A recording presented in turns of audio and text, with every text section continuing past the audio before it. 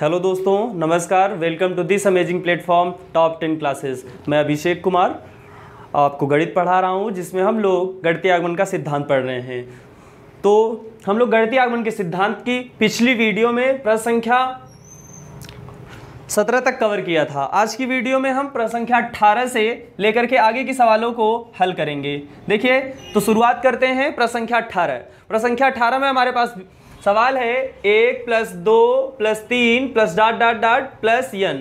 Is less than एक बटा आठ ब्रैकेट में टू एन प्लस वन का होल स्क्वायर। ठीक है ना? ये हमारे पास क्या है? सवाल। ठीक?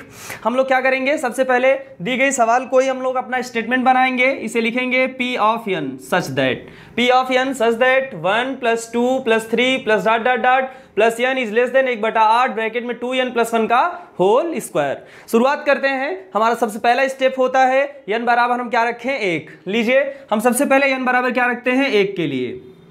लीजिए एन बराबर एक के लिए सत्यता की जाँच करते हैं। तो एन बराबर अगर एक लेंगे तो हमारा जो एलएचएस का साइड होगा, उस साइड से सिर्फ़ और सिर्फ़ एक पद लिया जाएगा।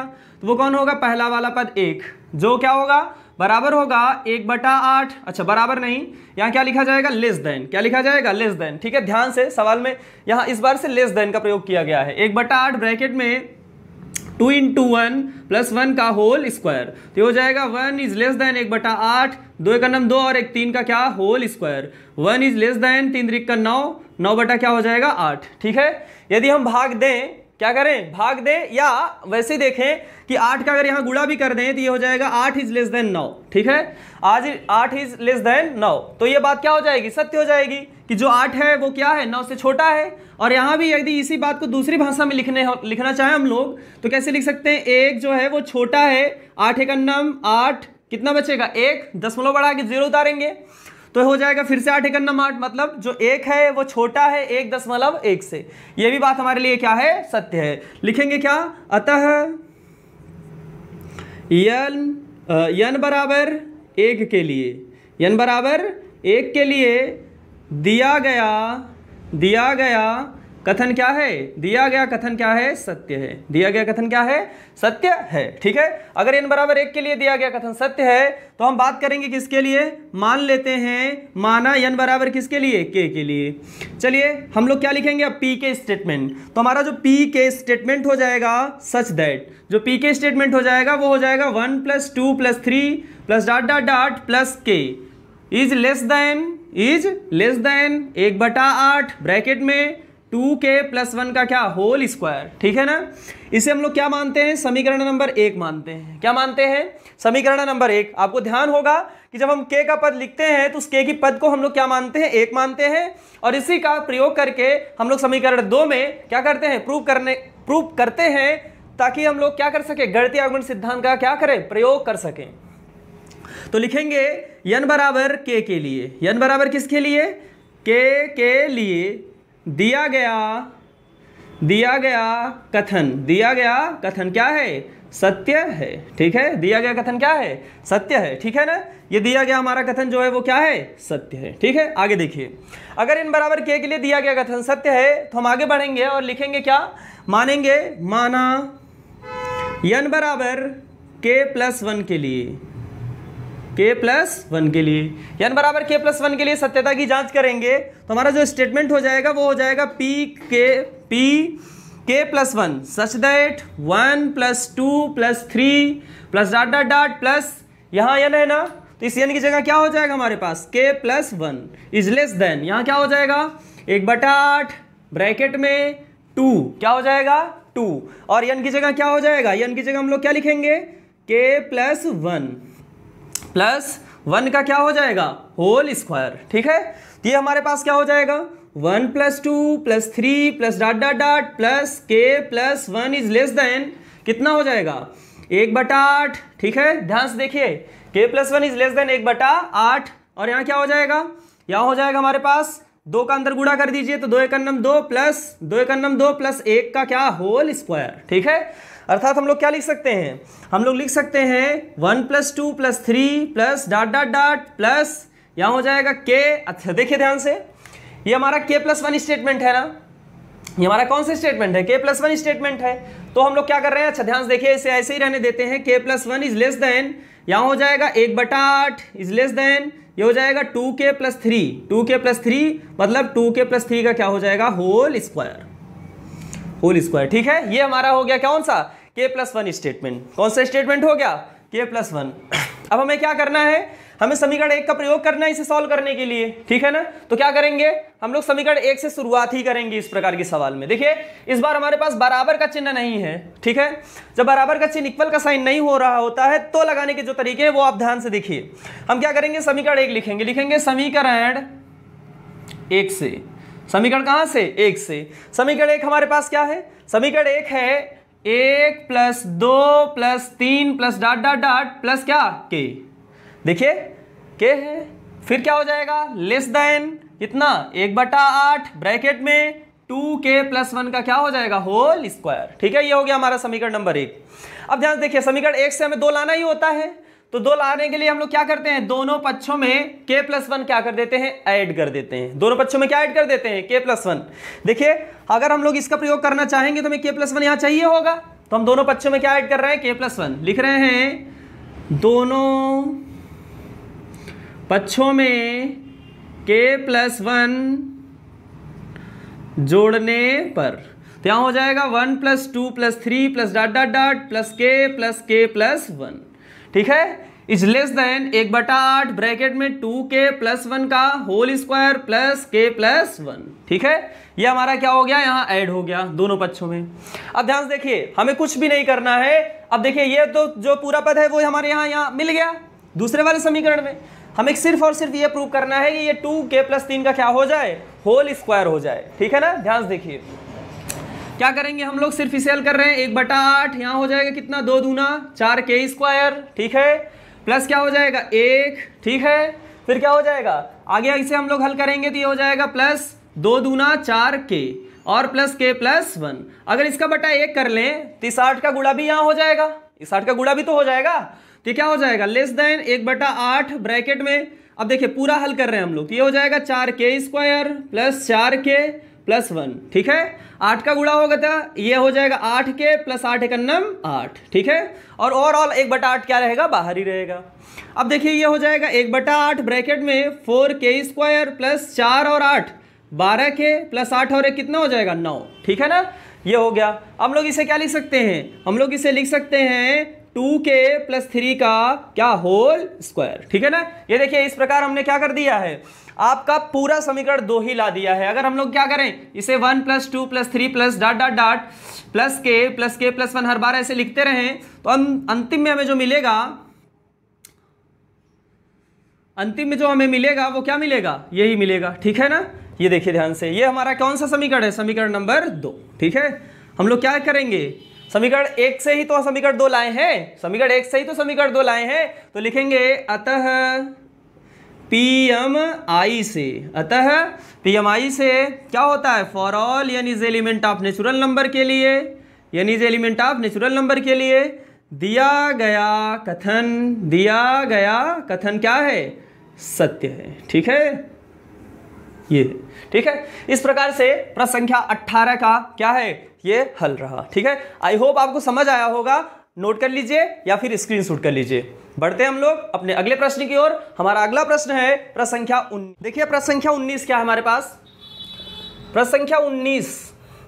प्रश्न संख्या उन्नीस में कह रहे हैं कि यन ब्रैकेट में यन प्लस वन, अगले ब्रैकेट में यन प्लस फाइव इंटू में है सब। कह रहे हैं संख्या ये जो इस प्रकार से जो संख्या मिलेगी, वह संख्या तीन का एक गुड़ज है। क्या है एक गुड़ज ठीक है? ध्यान से देखिए। संख्या क्या है? तीन का एक क्या है? गुड़ज है। अगर संख्या तीन का क्या है? एक गुड़ज है तो हम लोग क्या करेंगे? प्रूव करने का प्रयास करते हैं। तो सबसे पहले हमारा काम क्या होता है? दिए गए स्टेटमेंट को अपनी फॉर्मेट में लिखें। क्या लिखेंगे? लिखेंगे P of n such that क्या लिखेंगे? यन ब्रैकेट में यन प्लस वन अगले ब्रैकेट में यन प्लस फाइव ठीक है? आगे क्या लिखेंगे? संख्या तीन का गुड़ज है। संख्या तीन का क्या है? गुड़ज है, ठीक है? अब यह बात कितनी सत्य है, इसके लिए तो हम लोग सबसे पहले यन बराबर एक रख के सिद्ध करेंगे। अगर यन बराबर एक के लिए सिद्ध होती है तो दो के लिए तो करेंगे नहीं, तीन के लिए करेंगे नहीं। क्यों? क्योंकि घटती आगमन सिद्धांत से हमें प्रूव करना है। तो हम लोग क्या करते हैं? सबसे पहले तो यन बराबर एक के लिए प्रूव करके देखते हैं। मानते हैं कि माना यन बराबर क्या? माना यन बराबर एक। अगर यन बराबर एक के लिए सत्य होगा तो आगे की बातें करेंगे हम। ध्यान से देखिए P of one such that जहाँ जहाँ यन दिख रहा है, हर जगह हम लोग क्या रखेंगे? एक। ये हो जाएगा एक, ब्रैकेट में एक प्लस एक, अगले ब्रैकेट में एक प्लस पाँच। ठीक है? तो ये क्या हो जाएगा? संख्या तीन का क्या है? गुड़ज है। संख्या तीन का क्या है? गुड़ज है। आगे देखिए, ये हो जाएगा दो, एक और एक, दो और पाँच और एक छ दूनी बारह। यहाँ मिलेगा हमें क्या? बारह। बारह जो है, वो संख्या तीन का क्या है? गुड़ज है। संख्या तीन का क्या है? गुड़ज है। ठीक है? यह बारह जो है, वो संख्या तीन का क्या है? गुड़ज है। तो इस प्रकार से यह जो हमारी संख्या हो जाएगी, वो क्या हो जाएगी? गुड़ज है तीन की। इसलिए यह बात क्या हो जाएगी? सत्य हो जाएगी। लिखेंगे यन बराबर एक के लिए। दिया गया कथन। दिया गया कथन क्या है? सत्य है। दिया गया कथन क्या है? सत्य है। ठीक है? ध्यान से देखिए। अब यन बराबर एक के लिए सत्य हो गया कथन हमारा। हम लोग के के लिए प्रूव करेंगे। किसके लिए? के के लिए। माना यन बराबर के के लिए। यन बराबर के के लिए। तो हमारा स्टेटमेंट हो जाएगा पी के। क्या हो जाएगा? पी के सच दैट के ब्रैकेट में के प्लस वन अगले ब्रैकेट में के प्लस पाँच, संख्या तीन का क्या है? गुड़ज है। ध्यान से देखिए, तीन का गुड़ज होने की कंडीशन क्या है? ये जरा ध्यान से देख लीजिए। तीन की गुड़ज होने की जो कंडीशन है, जैसे हमने क्या लिख दिया? हमने कोई नंबर लिखा है जिसमें तीन के बाद यहाँ कुछ भी लिखा हो। मतलब आप समझ रहे हैं आप? कि अगर यहाँ चार हज़ार भी लिखा है और वो तीन से नहीं कट रहा है ये तो उससे हमारा कोई लेना देना नहीं है। लेकिन ये तीन कट रहा है ना ये जो इसमें गुड़ा होगी, जो संख्या बनेगी, वो पूरी संख्या ही तीन से क्या होगी? डिविजिबल होगी। समझ पा रहे हैं आप? जैसे, उदाहरण के तौर पर देख लीजिए, छह लिखा है, यहाँ लिखा है चार सौ प्लस तीन, ब्रैकेट में दो सौ, बटा कितना तीन? तो हम बात करें कि क्या संख्या तीन से डिविजिबल है? तो ये संख्या क्या हो जाएगी? तीन से डिविजिबल हो जाएगी। आपको इस चार सौ और इस दो सौ पे ध्यान देने की आवश्यकता नहीं है। हम इस तीन को कॉमन कर लेंगे तो ये हो जाएगा कितना? दो, ब्रैकेट में चार सौ प्लस दो सौ, ठीक है? और ओवरऑल तीन से कट हो गया, ठीक है? तो इस प्रकार से संख्या होती है। ध्यान से देखिए अब हम लोग इसी माध्यम से क्या करेंगे? इसे प्रूव करने का प्रयास करेंगे। ध्यान देखिए कैसे। ये संख्या हो गई हमारी, ठीक है? इसे हम लोग क्या मान लेते हैं? तीन नियम मान लेते हैं। क्या मान लेते हैं? तीन नियम। के ब्रैकेट में के प्लस वन और के प्लस पाँच। बराबर क्या मान लेते हैं? तीन नियम। ठीक है ना? ऐसा क्यों? मैंने आपसे कहा कि भैया, संख्या ये जो है, वो संख्या जो है ना, वो तीन की क्या है? गुड़ज है। तो तीन के बाद कुछ भी आ जाए के मान लीजिए आप। के तो हम लोग पहले माने, इसलिए के नहीं माने हैं। यन मान लीजिए, ए मान लीजिए, बी मान लीजिए, आप कुछ भी मान सकते हैं, लेकिन ध्यान रखिए कि तीन के साथ जिस भी संख्या का गुड़ा हो रहा है, उसका उससे लेना देना नहीं है। यदि तीन है तो संख्या ही तीन से क्या होगी? डिविजिबल होगी, विभाजित होगी, और एक क्या हो कहलाएगी? गुड़ज कहलाएगी। अगली बात हम लोग किस पर करेंगे? के प्लस वन पे करेंगे। किस पे करेंगे? के प्लस वन पर। ध्यान देखिए, माना अच्छा इसके के के लिए सत्यता की बात हम लोगों ने नहीं लिखी है। लिख देते हैं। क्या लिखते हैं? यन बराबर के के लिए दिया गया कथन क्या है? सत्य है। ठीक है? आइए, यहाँ सॉल्व करते हैं पी के स्टेटमेंट माना यन बराबर के प्लस वन के लिए। के प्लस वन के लिए। तो यहाँ क्या हो जाएगा? यहाँ हो जाएगा पी ब्रैकेट में के प्लस वन सच दैट ठीक है? क्या हो जाएगा? यहाँ हो जाएगा के का मान रखिए यहाँ के प्लस वन ये हो गया के प्लस वन यहाँ क्या हो जाएगा? के प्लस वन प्लस वन यहाँ क्या हो जाएगा? के प्लस वन प्लस फाइव क्या लिखेंगे? संख्या संख्या, तीन का तीन का एक गुड़ज है। संख्या, तीन का एक क्या है? गुड़ज है। चलिए इसे सॉल्व करने का प्रयास करते हैं। तो ये क्या हो जाएगा हमारे पास? ये हमारे पास हो जाएगा के प्लस वन क्या हो जाएगा? के प्लस टू और क्या हो जाएगा? के प्लस छ आगे क्या हो जाएगा? संख्या तीन का क्या है? गुड़ज है। संख्या तीन का क्या है? गुड़ज है। ठीक है? ध्यान से देखिए।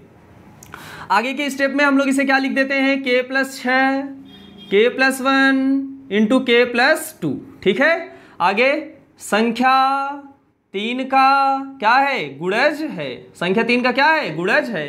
देखिए वैसे ऐसे तो प्रूव करना नहीं है। हमें क्या करना है? इस स्टेटमेंट का वहाँ प्रयोग करना ही करना है। समझ पा रहे हैं आप? कि हम कैसे प्रूव करें कि ये ये जो स्टेटमेंट है, उसमें इसे भी क्या करें हम लोग? इंक्लूड करें। क्या करें? इंक्लूड करें। तो इंक्लूड करने के लिए हम लोग क्या करेंगे? अब भैया, हमें इसी समीकरण को क्या करना पड़ेगा? हल करना पड़ेगा। क्या करना पड़ेगा? ये देखिए, तीन ब्रैकेट है हमारे पास। इन तीनों ब्रैकेटों को क्या करना पड़ेगा? गुड़ा करना पड़ेगा। गुड़ा करके उनका गुणनखंड करना है और गुणनखंड करके इस समीकरण को क्या करना है वहाँ? प्रयोग में रखना है। देखिए ध्यान से, अगर हम लोग इसका गुड़ा करें वहाँ, ध्यान से देख लीजिए पहले। गुड़ा उड़ा कर लेते हैं आराम से, देखिए। सबसे पहले इसका गुड़ा करेंगे तो क्या हो जाएगा? के स्क्वायर क्या हो जाएगा? के स्क्वायर ठीक है? फिर क्या हो जाएगा? के फिर छः का करेंगे तो छः के प्लस छः यहाँ क्या हो जाएगा? के प्लस टू ये हो जाएगा के स्क्वायर प्लस सात के प्लस कितना? छः और इंटू कितना? के प्लस टू ध्यान देखिए। आगे क्या हो जाएगा? आगे हम लोग इसे लिखेंगे क्या? के घाते तीन plus two k squared plus सात के स्क्वायर प्लस सात दूनी, चौदह के प्लस छः के प्लस छः दूनी, बारह। तो ये हो जाएगा कितना? के क्यूब प्लस यहाँ करेंगे तो कितना हो जाएगा ये? टू सेवन और टू नाइन के स्क्वायर और चौदह और छः बीस के प्लस कितना? बारह। ठीक है? अब देखिए ध्यान से। अगर हम लोग इसका भी गुड़ा करें, किसका? इन तीनों का गुड़ा करें तो क्या बनेगा? ठीक है? और वहाँ, ठीक है? ध्यान से देखिए। इसका इसका गुड़ा यही करते हैं। ध्यान से देखिए। यह हो जाएगा क्या? के स्क्वायर प्लस के फिर क्या हो जाएगा? के प्लस फाइव ये हो जाएगा k cube plus five k squared plus k squared plus five k ठीक है? तो यहाँ कितना हो जाएगा? के क्यूब प्लस पाँच और एक छः के स्क्वायर प्लस फाइव के इतना पकड़ लीजिए अलग। ठीक है? क्या हमारे पास के क्यूब रहेगा? ठीक है। प्लस क्या रहेगा? छः के स्क्वायर रहेगा। ठीक है। प्लस क्या रहेगा? पाँच के रहेगा। जो बच गया उसे अगले में लिखिए। जो बच गया क्या लिखिए? अलग लिखिए। के क्यूब तो पूरा हमने लिख लिया था। छः के स्क्वायर लिखा तो यहाँ कितना बचा? तीन के स्क्वायर बचा है। प्लस क्या बचा? पाँच के हमने लिखा है तो कितना बचेगा? पंद्रह के बचेगा प्लस पूरा का पूरा बारह बचेगा। बचेगा कि नहीं बचेगा? देखिए, पूरा का पूरा बारह बचेगा। अब ये जो पूरा पद है हमारा, देखिए, यही तो है के क्यू प्लस छह के स्क्वायर प्लस फाइव के इसको तो हम लोग क्या लिख सकते हैं? इसको तो लिख सकते हैं के ब्रैकेट में के प्लस वन और अगले ब्रैकेट में के प्लस फाइव देखिए, इसी का तो गुड़ा करके हम लोग ये लाए हैं। और जो बच गया वो क्या हो जाएगा? प्लस यहाँ से तीन कॉमन हो सकता है। देखिए, तीन इसमें भी है, इसमें भी है, इसमें भी है।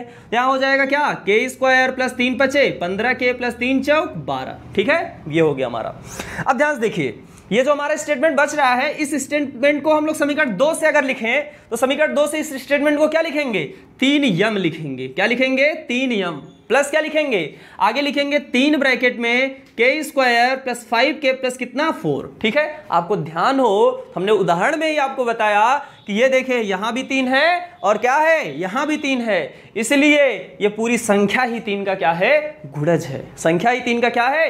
गुड़ज है। इसलिए हम लोग ये जो बात यहाँ बोल रहे थे, वो पूरी बात यहाँ तक क्या करेंगे?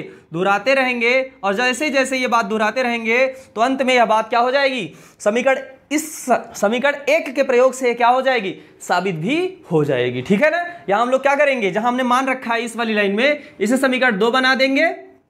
ठीक है? और उस समीकरण दो में क्या लिखेंगे? समीकरण एक से मान रखने पर। तो ये हमारा मान रखा गया है, तीन नियम। ठीक है ना? लिखेंगे क्या? अतः पी एम आई से, पी एम आई से क्या होता है? For all n is element of natural number के लिए, दिया गया कथन क्या है? सत्य है, या दिया गया कथन जो है, वो संख्या तीन का क्या है? गुड़ज है। ध्यान से देख लीजिए और नोट भी कर लीजिए। आई होप आपको समझ आया होगा। देखिए, बढ़ते हम लोग अपने अगले प्रश्न की ओर। प्रश्न संख्या हमारा है बीस। प्रश्न संख्या बीस है, दस की power two n minus one दस की power two n minus one plus one संख्या ग्यारह से भाज्य है। संख्या ग्यारह से भाज्य है। संख्या ग्यारह से क्या है? भाज्य है। ठीक है? अब ध्यान से देखिए। अगर ये संख्या ग्यारह से भाज्य है अभी अभी हम लोगों ने तीन का गुड़ज लगाया। सेम टू सेम कंडीशन ये भी है। तीन का गुड़ज मतलब तीन से विभाजित, ग्यारह से भाज मतलब ग्यारह का गुड़ज। शुरू करते हैं। सबसे पहले तो हम लोग एक से सत्यता की जाँच करेंगे। ध्यान से देखिए। हम लोग स्टेटमेंट लिखते हैं पी एन सच दैट दस की power two n minus one plus one. संख्या ग्यारह से क्या है? भाज्य है। देखिए, n बराबर एक के लिए। n बराबर एक के लिए। ध्यान से देखिए, n बराबर एक के लिए यह हो जाएगा पी वन सच दैट क्या हो जाएगा? दस इंटू दो की पावर दो यन की जगह कितना लिखेंगे? एक। Minus one plus one. ठीक है? ये क्या हो जाएगा? दस, दो एक नम दो दो में से गया एक। दस प्लस कितना एक? और दस प्लस एक का मतलब कितना? ग्यारह। ठीक है? और ये क्या है? यहाँ लिखते रहे हम लोग। संख्या ग्यारह से भाज्य है। संख्या ग्यारह से भाज्य है। संख्या ग्यारह से क्या है? भाज्य। है सही बात है। अगर भाज्य है तो क्या लिखेंगे? यन बराबर एक के लिए दिया गया कथन सत्य है। दिया गया कथन क्या है? सत्य है। ठीक है? यन बराबर एक के लिए हमारे पास क्या है? दिया गया कथन क्या है? सत्य है। ठीक है? अब हम बात करते हैं आगे। यन बराबर एक के लिए अगर हमारा दिया गया कथन सत्य है तो यन बराबर आगे बात करेंगे किसके लिए? के के लिए। माना यन बराबर के के लिए। क्या हो जाएगा? पी के। क्या हो जाएगा हमारे पास? P k. Such that. दस की power two k minus one plus one. ठीक है? क्या हो जाएगा? संख्या ग्यारह से भाज्य है। संख्या ग्यारह से क्या है? भाज्य है। ठीक है? संख्या ग्यारह से क्या हो गई? भाज्य हो गई। अब आगे देखिए ध्यान से।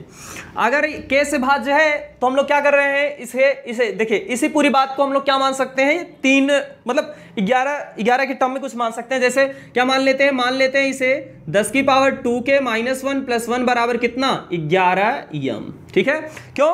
क्योंकि ये जो संख्या है, वो ग्यारह से भाज्य है।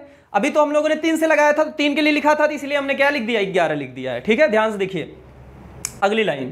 क्या लिखेंगे? यन बराबर के के लिए। दिया गया कथन। क्या है? सत्य है। ठीक है? आगे बढ़ते हैं हम लोग, यन बराबर के प्लस वन के लिए। माना यन बराबर के प्लस वन के लिए। यन बराबर के प्लस वन के लिए क्या हो जाएगा? पी के प्लस वन। Such that. क्या हो जाएगा? दस की power two into k plus one minus one plus one संख्या ग्यारह से भाज्य है। संख्या ग्यारह से क्या है? भाज्य है। ठीक है? ध्यान से देखिए। तो यहाँ क्या हो जाएगा हमारे पास? इसे हम लोग सरल करने का प्रयास करते हैं। अब ध्यान से देखिए।